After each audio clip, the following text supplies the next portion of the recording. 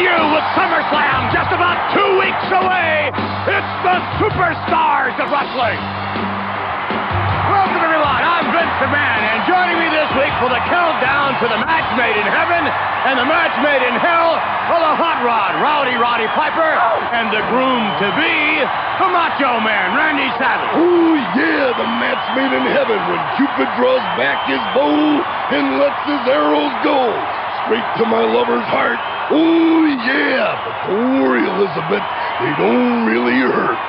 You're a real tender fella there, Macho, but I'm pleasure. Ah, but I'll be telling you where them arrows are headed. Them arrows are headed to the match made in hell. You got a match there where Sid Justice is the special referee with Hogan and Warrior and Slaughter and Adnan and Mustafa. You don't know what's going to happen. Talking about unknown, I don't know if Justice is siding with Hogan. I heard Warrior and Justice don't get along at all. Then again, never know. Slaughter's getting tired of them towelheads he's been messing with. Talk about unknown. Just a second. Is there anything I forgot here? Well, there's no telling what is going to happen. No, no, let me have SummerSlam, but right now, let's get to action.